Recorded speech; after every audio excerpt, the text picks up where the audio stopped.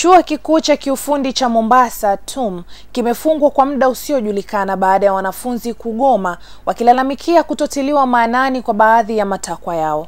Hata hivyo, usimamizi wa chuo hicho kupitia ilani iliyotolewa na naibu mkuu wa chuo hicho Profesa Josephat Mwatela umesema kitendo cha wanafunzi hao kutatiza shughuli za chuo hicho ni ukosefu wa nidhamu.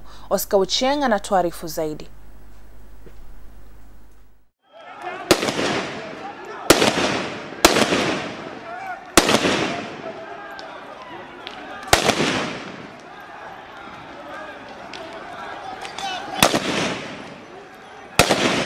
Barabara za kuelekea chuoni humo zilifungwa huku wanafunzi hao wakiwasha moto. Maafisa wa usalama waliofika kutuliza hali walikuwa na kazi ngumu ya kujaribu kuwazuia wanafunzi hao kuharibu mali ya watu iliyo karibu na chuo hicho. Kwa wakati mmoja, OCPD wa Mombasa Martin Otieno alijaribu kuwashawishi wanafunzi hao kutoendelea na fujo. It is for you to decide. Go to the street, face the askaris, and then you will get it. At the end of the day, will you have solved it? No. Yeah? So let us solve it. Go back to school. Okay. I know, I know it is your right. If you are organized and you want to demonstrate, we facilitate that. Yes. If you are organized and you want to move up to where, we will facilitate that. We will let you move as students. Yes. You air your views, and you finish, you come back to the school. But not beating everybody in the town. Mojawapo ya maswala wanafunzi hao wanayoibua ni kupandishwa kwa karo bila kuhusishwa kwa wanafunzi hao. Naambiwa urudi nyumbani. Ya tatu, tuko na hii jambo la kutoa special and supplementary examination. Sisi kama wanafunzi, ukiangalia vyuo vyote nchini Kenya, hakuna chuo hata kimoja cha serikali ambapo hakuna eh, series ya special na supplementaries. Unapata mtu anaweza kosa karo akose kufanya mitihani ya mwisho wa semester. Napata hizo itakuwa pepa nane, kumaanisha akiweza kulipa hiyo karo baadaye, the next semester atakuwa na, anaambiwa afanye makaratasi karatasi kumi na sita ambapo sisi kama wanafunzi tunaona hatuwezi, na hata popote ile hakuna mwanafunzi anaweza fanya makaratasi kumi na sita. Wanafunzi hao wanasema licha ya kutaka usimamizi wa chuo hicho ushughulikie masuala mbalimbali wanayoyaibua, hakuna lililosuluhishwa. Mwenyekiti wa wanafunzi hao Desmond Ocharo amesema usimamizi wa chuo hicho unafaa kuharakisha mazungumzo ili wanafunzi hao warudi chuoni.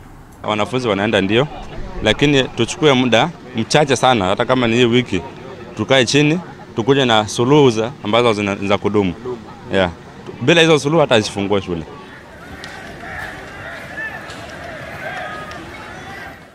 Katika rabsha hiyo, magari mawili ya kubeba taka ya kaunti ya Mombasa yaliyoegeshwa eneo la kizii yalitiwa moto.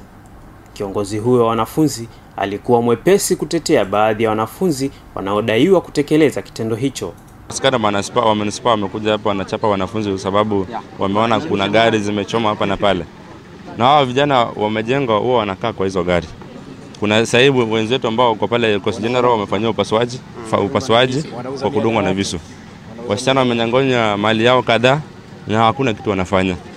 Kwa hivyo leo was- wanafunzi Hata hivyo, naibu mkuu wa chuo hicho Profesa Josephat Mwatela amesema kuwa hatua ya wanafunzi hao kugoma haina msingi, kwani wanafahamu fika utaratibu uliopo wa kufatwa iwapo kuna tatizo. Eh, Leo tulikuwa ni tuwe na mkutano. Tangu wiki, wiki iliyopita kumekuwa na wanafunzi walikuwa ni kama there was unrest eh? So we tried the, as management we talked to the TUMSO leadership ambao nilikuwa chairman, secretary general ambayo is in charge of uh, academics na wale wengine uh, tuka tukawa tumesikizana kuwa by the end of uh, by the closure of uh, five uh, on Friday they'll come up with their grievances so that as management we try to see uh, whether uh, whatever they are alleging is true and uh, we, allege, uh, we, we, we address them as uh, management. They did not come. Naibu gavana wa kaunti ya Mombasa Hazel Katana aliwaahidi wanafunzi hao kuwa suluhu ya kudumu itapatikana baada ya mazungumzo. because there's a lot of messaging going out there increase of school fees and all that so let's get it right Kwa sasa wanafunzi hao wamelazimika kufunganya virago na kuelekea majumbani mwao, kwani hawajui hatima yao, huku wakisubiria mazungumzo kati ya viongozi wao na usimamizi wa chuo. Hata hivyo, wanafunzi hao hawajui ni siku gani watakaporudi ili waendelee na masomo yao.